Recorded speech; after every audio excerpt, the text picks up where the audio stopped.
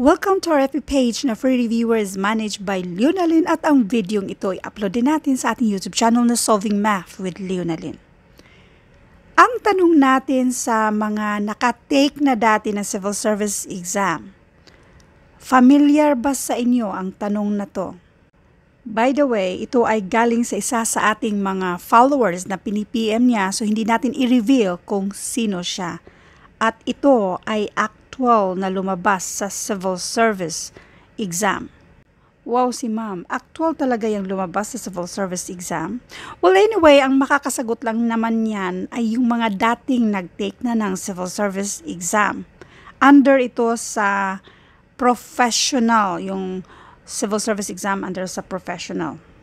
Pero laging tandaan, never memorize the answer because that will never help you. Kundi yung paraan kung paano natin ito sinagutan.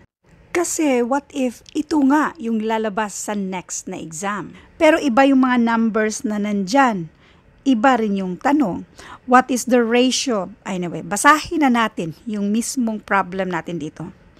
What is the ratio the number of graduate, the number of graduate in year 1. So ito yung year 1 to the average of all graduates for the entire 5 years. Now, kung titingnan mo yung mga choices, naka-fraction yan siya. So, therefore, meron tayong fraction line dito. Yung nasa taas, The number of graduate in year 1, ang nasa given dito ay 800.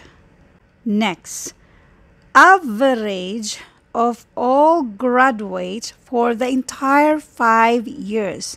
Anong ibig sabihin ng average? Ang average ay itong entire 5 years, i-add natin yan kasi average of all graduates for the entire 5 years. So, i-add natin itong 800, isa-isahin natin, si 800, then 1,040, next 900, itong 760, then 1,100. So, ang total nito, so this is 26, to, so 4,000 600. Now, itong 4,600, i-divide natin kung ilan yan. Lahat 1, 2, 3, 4, 5. So, i-divide natin ng 5. 46 divided by 5, this is 9. 9 times 5, 45. 46 minus 45, that is 1. Bring down tayo na isang 0. 10 divided by 5, this is 2. 2 times 5, 10. So, since 0 na lang din yung natitira, so ilagay na lang natin yung 0 sa taas. So, this is 920. Ito yung average of all graduates for the entire 5 years.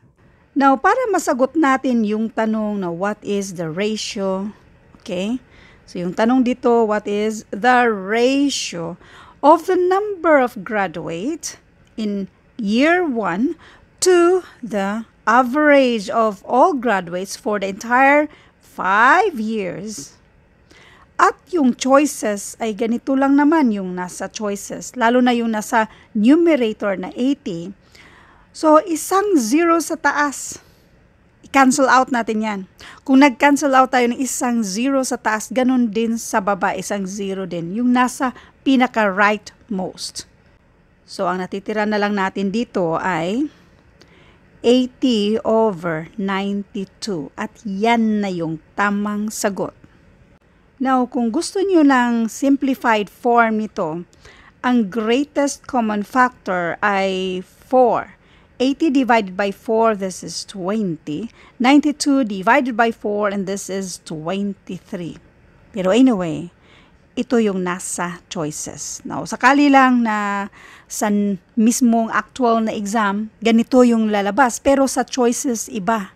Simplified form yung nasa choices. So, ito yung tamang sagot. 20 over 23. Now, I hope na intindihan nyo yung ibig kong sabihin dito ha.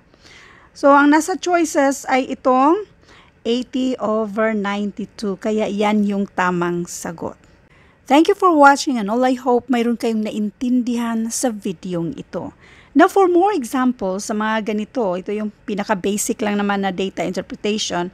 For more examples, yung mga dati na natin na-upload na mga data interpretation, so i-search nyo lang yan, idugtong lang yung Leonalyn para mas madaling ma-sort out yung dati na natin na-upload na mga kahalintulad nito.